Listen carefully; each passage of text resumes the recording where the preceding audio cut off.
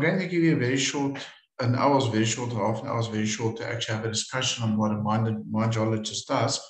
But I've got a couple of slides and then and a general discussion which I can have with you on what is the role of a mine geologist. I started my career off in the deep level gold mines, and I'll show you now where it started. And this is just a table of contents, and we'll, we'll flip through the slides as we go. But essentially, I'm going to tell you who I am, where I started off, um, resource to reserve. This is where all the mining starts. So this is post exploration side. The mining geology, what is the role of mining geologists to safety? I think that's very adequate. Geologists always often ask the question, so if I've measured the fracture and the indexes, what is my role towards the safety?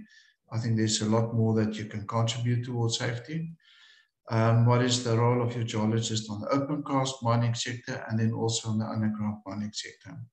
So in short, um, that's me. That's what I look like.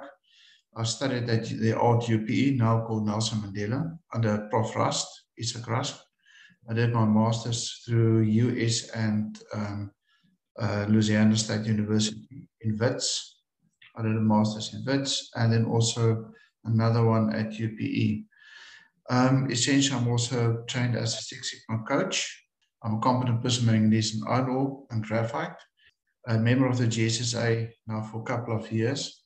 And I started my career in Goldfields in 1991. Um, getting into the geology is a different story. Um, I won't bore you with that, but I basically got lost at university and ended up in the geology department. And, and it turned out that it was the best move ever. So I started my career off with West Driefontein um, seven shaft VCR paddock sections, then six shaft um, carbon leader. I started off doing shaft sinking, nine vent shaft, and 11 sub vertical shafts. That was my introduction to mining, and I was in, always intrigued by the engineering and by the mining processes, um, both electrical, mechanical, and also on the mining side. So um, I started those deep level mines, um, and it definitely prepared me for more in life than I anticipated. And I always got involved in more than one thing um, on the mines. I then moved over to Northern Platinum, where I discovered that groundwater can be very hot and under very high pressure, pressure systems. We worked extremely hard on Northern Platinum. It was a, a pothole reef um, for different facets re-establishment of stopes and that type of stuff. Then I moved over to Samancor on the manganese side, where I became a superintendent on projects, um, logistics, exploration, and continuous improvement. I then later on became the MRM manager, where I managed the Wessels in Mamatwan open cast and Wessels underground mine, did the capital expenditure programs. I did the risk smart BOTA, which is now called UMK feasibility. CPs, um, studies, uh, feasibility work we did on Mamatwan extension, Middelplaats, um, olive pan, olive wood, Umtu, and then currently we're busy in the Northern Cape on the northern section, and I did their team up all the way to Gravenhage and Avontuur Basin. Uh, Postmasburg, I did most of the mines down south. So in BHP Billiton, I was also part of the MRM manager for um, and the global team leader for um, representing South Africa in the mine planning sector from the manganese sector. I started Mineral in 2020. I have two sons. One is 21 and the other one is 17. Uh, they're aspiring engineer. The one is aspiring engineer at Stellenbosch University. And the second one, I think, is going to be a surprise. We're not sure what he's going to do. So basically, at the end of the time, I have a, I'm a typical mine geologist. I've got broken furniture disorientated kids and a full book of vaccinations.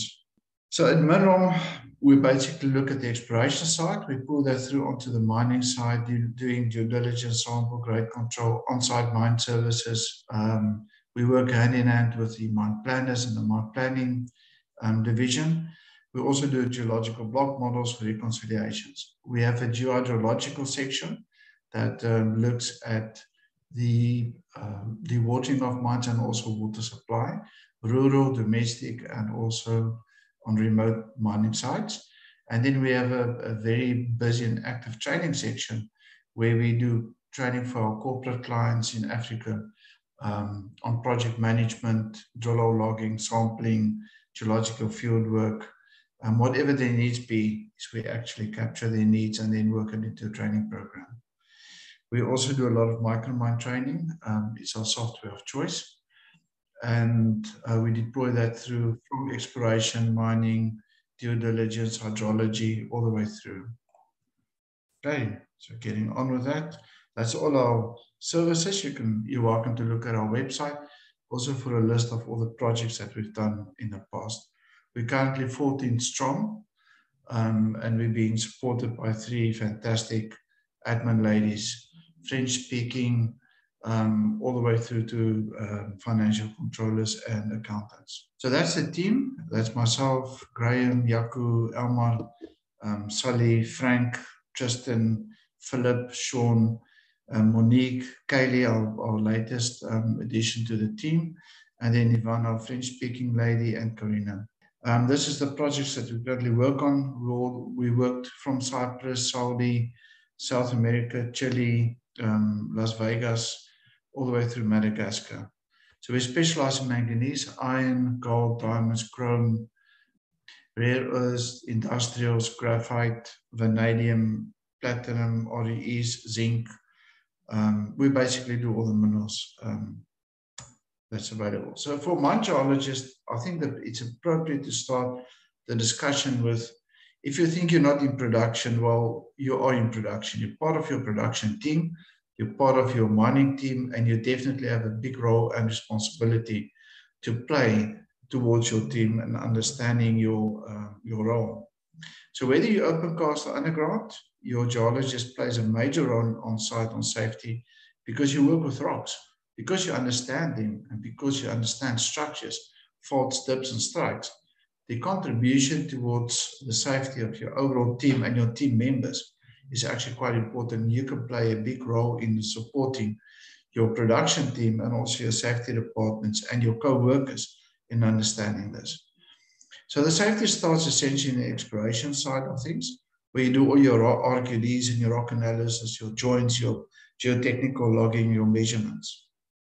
This then gets transformed, as you know, into your open cast mine design, your underground mine design.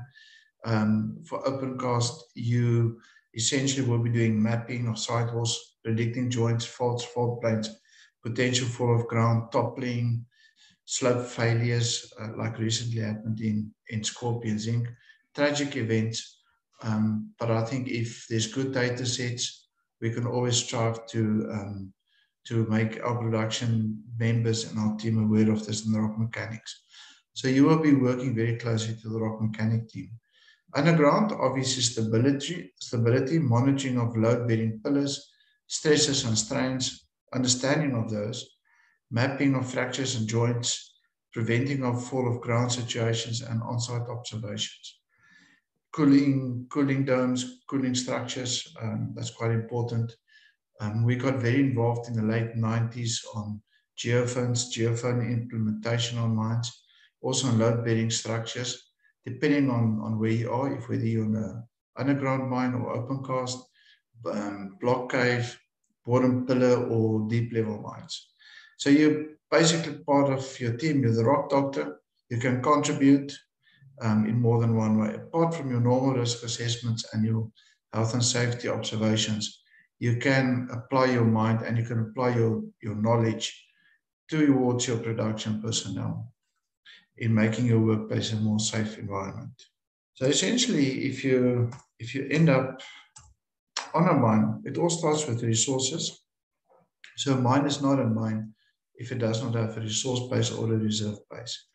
So your exploration starts with the normal stuff, your, your geophysics, extensions of your iron ore, your delineation drilling, your definition drilling, your geological model, your metallurgical testing, your ore models, your pit optimizations, scheduling, and then into your um, construction phase. Part of your geological model and your metallurgical testing and your ore models, this is all 3D.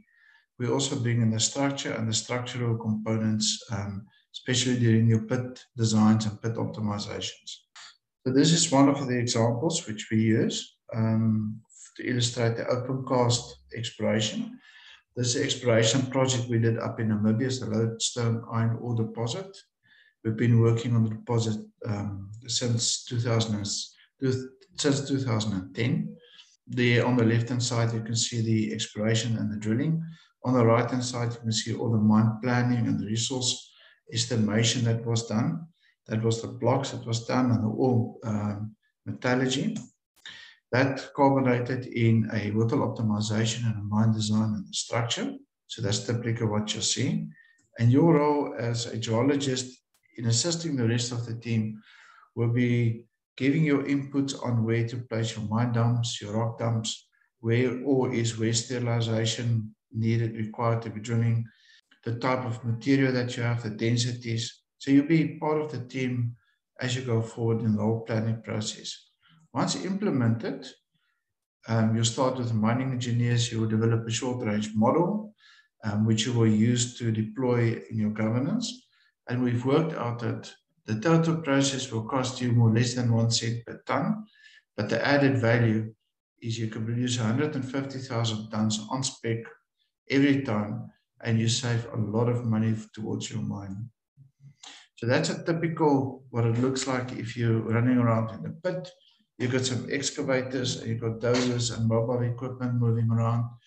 Um, controlling your bench cuts and your bench um, designs is quite important. Over here, we did alluvial mining on iron ore. On the right-hand side, you most likely you're going to be ending up running your laboratory, doing your sample preparation, and also your on-site grade control, which is an integral part of your process because you want to do your grade control and ensure that your grade meets the specifications. And after a lot of product and a lot of sweat, um, tears and a lot of sunburn, um, it all pays off. That was the first shipment of material going out of Walvis Bay. So underground mining is no different from open cast mining, apart from the fact that you've got a roof over your head. It's quite deeper, obviously, and you've got different rock qualities and rock densities and rock conditions that is going to be affecting you. You're also in a confined space, very important, and that you have to consider your ventilation. At least you're not going to get sunburn. Um, you have other hazards which which equates to water ingress or methane, rock falls, rock burst, uh, failures, pillar failures. On the left-hand side is a typical block cave with its drives. So the geologist will be taking this, this geological model, move that over into the engineering side.